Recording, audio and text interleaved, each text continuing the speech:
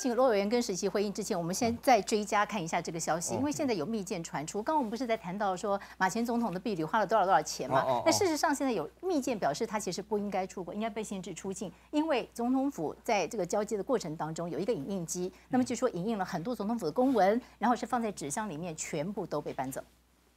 马英九在离开总统办公室。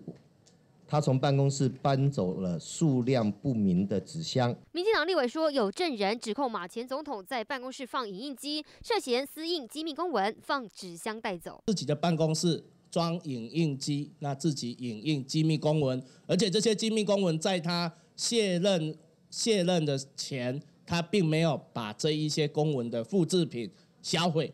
立委开记者会呼吁特侦组赶快主动侦办，比照前总统陈水扁的规模。陈水扁的案件中，我们知道说特侦组对于这样的一个行为是采取非常严厉，而且非常有作为的侦办方式。就纵使你事后交还这些公文，你仍然无法除罪。尽管还是主张废除特侦组，但立委定出期限，若半天内没有动作，就要到北检告发。我们认为总统府应该采取行动来做调查，更重要的，应该拒绝马英九申请出访香港的诉求。案情没有厘清之前，马英九应该被限制出境。对于绿委指控，马办目前没有回应。但就在马前总统出访申请还没定案前，民进党的举动似乎是想透过法律行动，让马前总统有更多的理由被限制出境。记者朱文正、吴一轩台北采访报道。来，罗委先谈这个抗议性啊，就是说我第一个先呼应刚才寇姐讲，就是说目标才能不能达到目标才是最优先的了。那什么叫外交官？我因为自己学外交了，有有很多那种名言告诉我们什么叫外交官。嗯，外交官是一个永远记得一个女孩子的生日，但是忘了她年纪的人。我记得你生日，但是我又忘了你几岁。啊，然后外交官是什么呢？就是说啊，他会讲各种语言，其中语言叫做谎话。OK，什么叫外交官呢？他有办法说服一个人把头伸出来，让你把它砍掉。啊，所以外交官对语言的掌握 啊是非常非常重要的。啊，那坦白讲，如果各位还记得不久以前。王毅发生一个什么事情？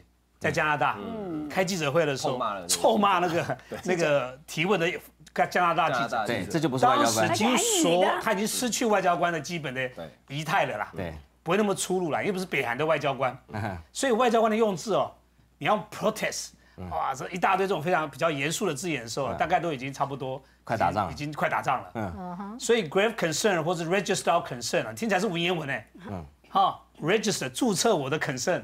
那个感觉怎么样？是是外交的语言，但它目的是一样的，表达关切，甚至有点不满。所以够不够？当然有各种不同的解读了。但如果在一个国际的外交的场合里面，这样的一个字眼某个角度是什么呀？就对你不满的了。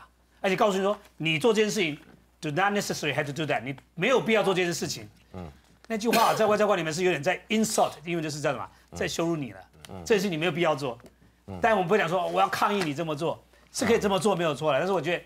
有时候外交官的语言或外交的语言相对来讲是比较细腻的啦。哦。但在这个外交界里面，看到这些语言之后，大家都知道什么意思了。啊。你看所谓的那个什么啊，联合国所有的这个联合国安理会决议啊，很少什么抗议啦，啊，这个对抗啦等等，都是用非常文雅的字眼。二七五八号就是把你蒋介石给驱逐啊。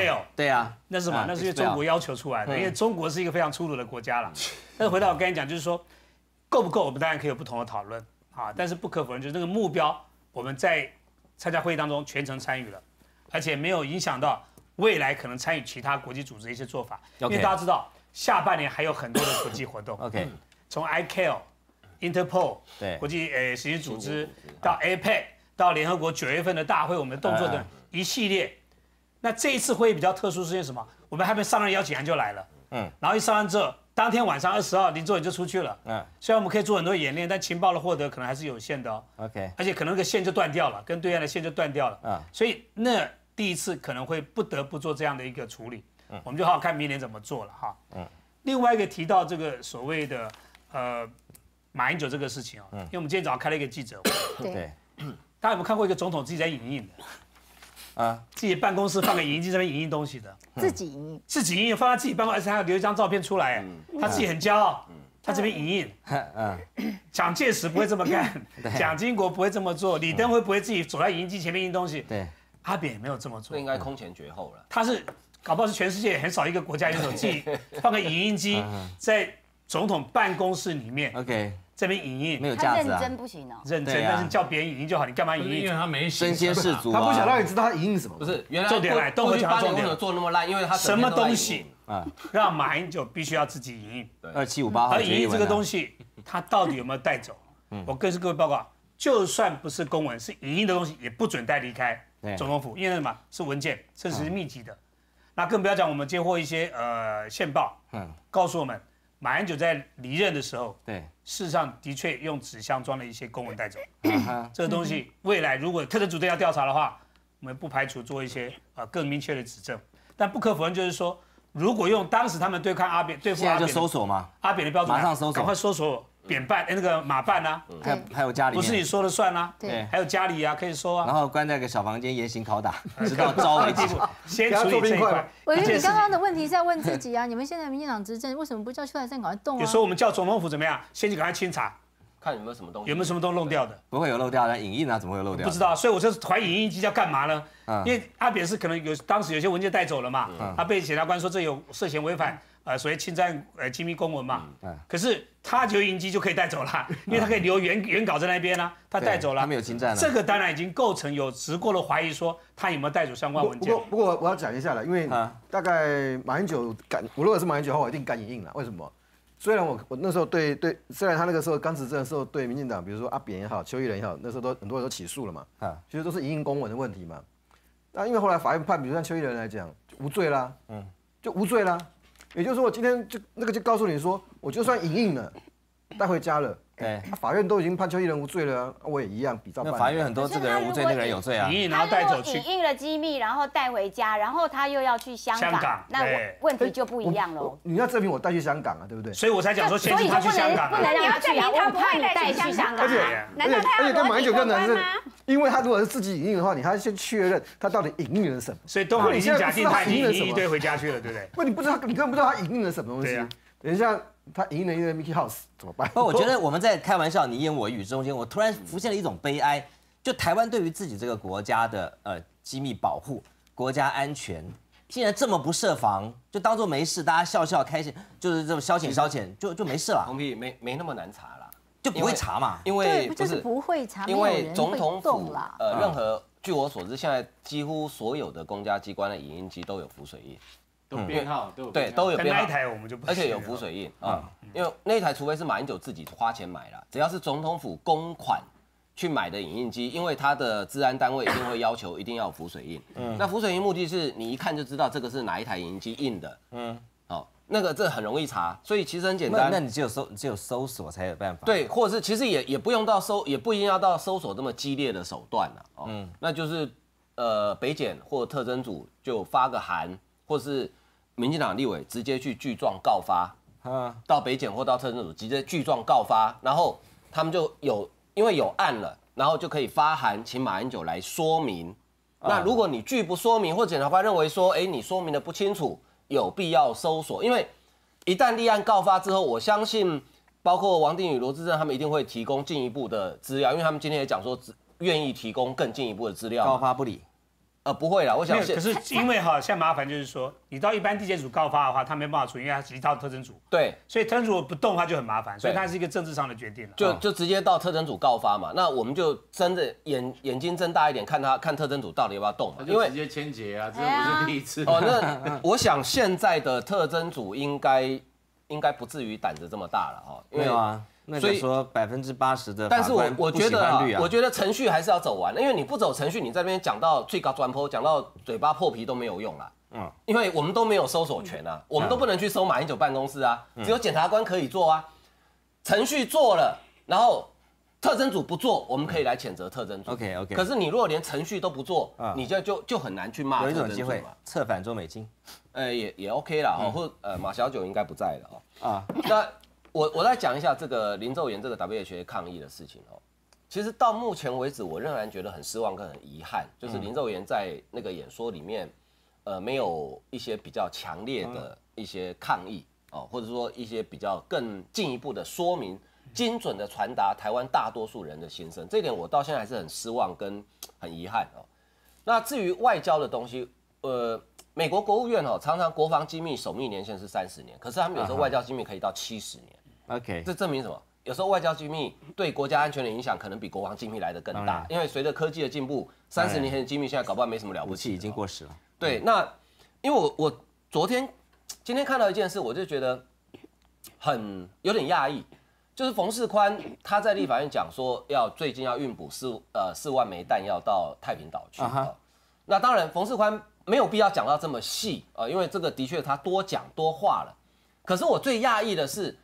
李大为竟然讲说他有去跟 A I T 说明这件事，照理说这是一个我们国军的例行的运补。那我补充一下，他是在冯世宽说完之后，对对对，觉得比较理性，因为媒体已经做了报道对对对对，所以照理说不必说，对，这是我们一个国军的例行的运补。照理说这是我，反正我因为我太平岛本来就有驻军嘛，对，那我本来驻军本来就需要弹药，这个运补，而且还有东沙岛，这个是某种程度是内政，对，这是很正常的事情嘛。可是为什么美国人会去关切？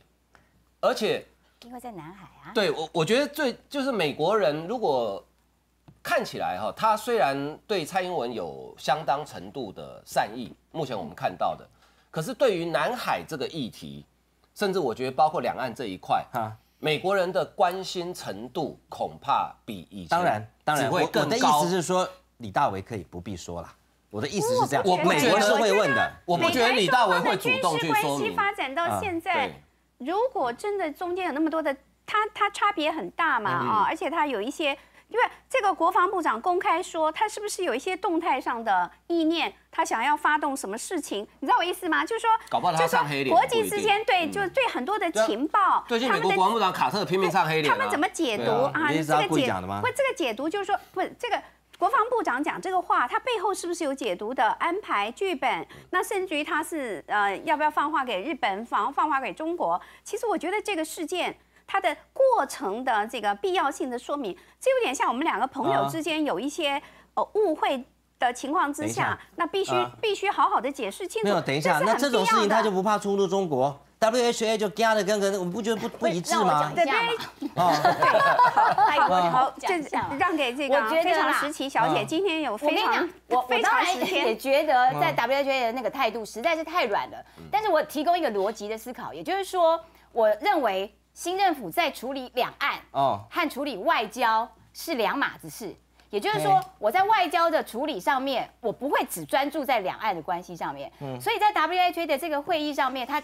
他除了设定说我要参加这个底线之外，他最重要的事情是去处理跟其他国家的关系，也就是说，他不是你听我讲，讲完他他处理其他的维氏大哥，拜托，哎，维氏大哥，美国你站我旁边，哎，维氏大哥，欧盟、日本你站我旁边。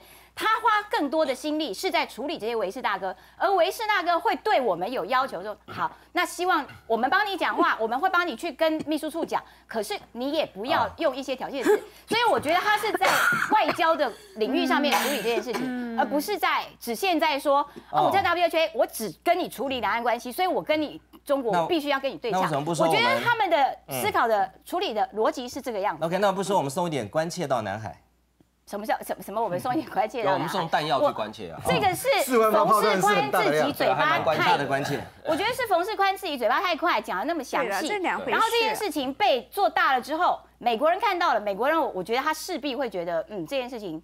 关切一下，其实他们会来 concern 一下，那 concern 了一下有没有绕英文？他 concern 了一下，所以李大为就必须要去处理这件事情。那至于你觉得李大为不应该，根本就不应该去处理，因为这是我们那件事情。我觉得对这件事情可以大家大家有不同意见可以讨论。我觉得李大为应该跟 just her concern，所以有点不一样。我我觉得李大为是李大为是应该跟 A I T 之间保持保持这样子的沟通管道。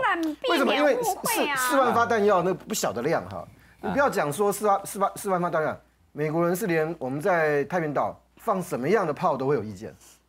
呃，从直飞点到马英九，我相信我相信在南海部分一定是如此。对。当然这个讯息，但是冯正那边讲的是不，其实不不够清楚。其实他有一部分，大部分是放在东沙岛了。对啊。那所以这样子的一个讯息就会有错误，因为如果你是以是放东是运补东沙，然后你讲成太平岛，这个这个会在呃对南海情势造成误判哈。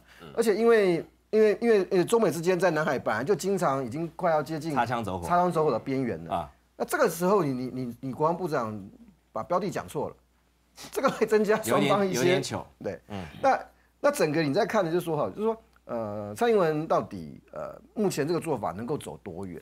就是我们新的总统这个这个做法到底能走多远？这才是关键。哦，就是我我就在讲了，如果中共他不跟你建不跟任何一个台湾的邦交国建交，他搞了一个甘比亚模式，那绝对比 W W H A 那个更麻烦。你怎么办？